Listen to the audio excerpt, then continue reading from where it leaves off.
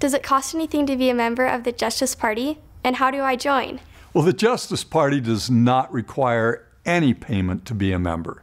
Simply go to our website, www.justiceparty.us, and fill out the short form indicating you want to be a member.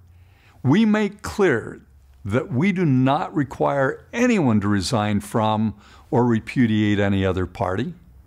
We just seek your support for our grassroots organizing efforts to push for the changes most people in the United States want and to build the party to become a majority party that will honor our democracy and fight for the public interest, greater social, economic, and environmental justice.